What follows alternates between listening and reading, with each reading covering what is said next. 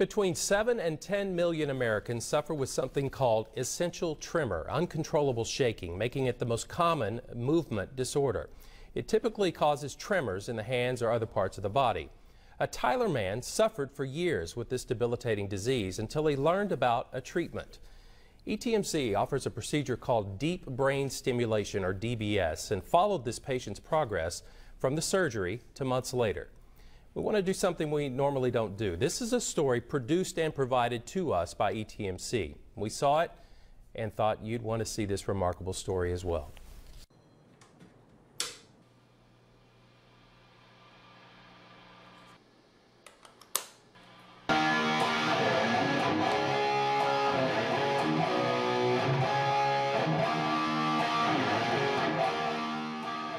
Music helps me relax.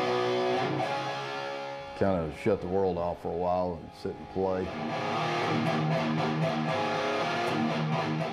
Playing rock music has been a passion for Todd Glass since he was a teen. But listening to him knock out these power chords today, you wouldn't know there was a time when his hands and brain were not in tune. My mother started noticing it when I was about two years old. Uh, my hands would shake when I'd wake up from a nap. For years, he suffered with debilitating tremors.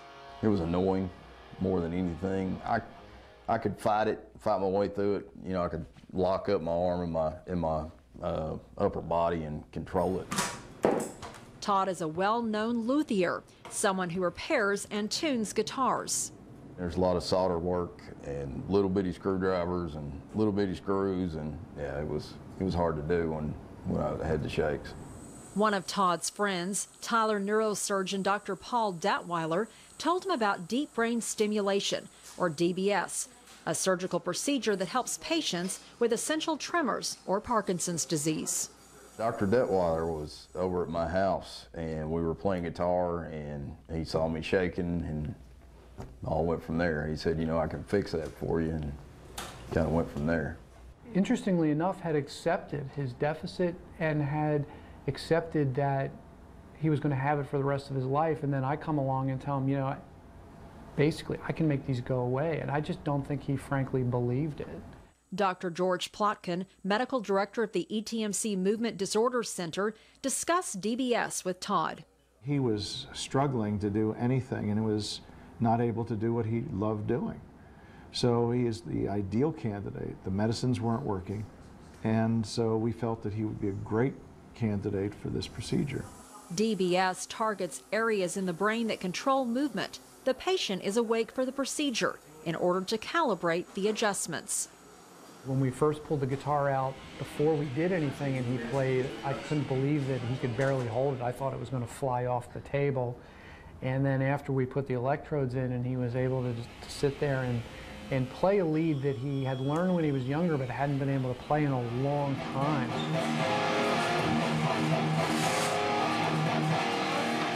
You could tell that he was sort of in a state of disbelief that he was able to do something that 10 minutes before he wasn't able to do.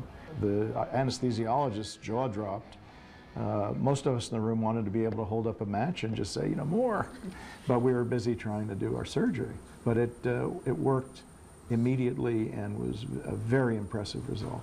I don't know how to explain it. It, it was amazing. I don't know any other way to say it.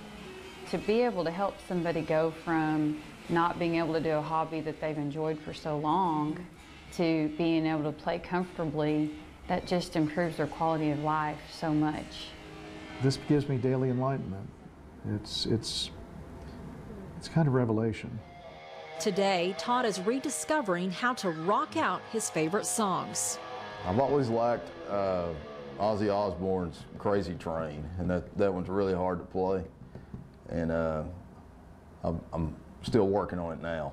The anxiety he felt with simple tasks is now gone. If I need to do anything with my hands, I got it covered. I don't have any fear of going somewhere. And, you know, like going out to dinner was always kind of scary, you know am I going to spill this or am I going to drop this or, you know, embarrass myself? But I don't have that now. He called me to complain that he, after the fact, that he went to play golf and now he was going to have to relearn the whole game because now he didn't have tremors. in the end, he made the decision and he never looked back. And it definitely has been a huge life changer for him. It, it's definitely worth it.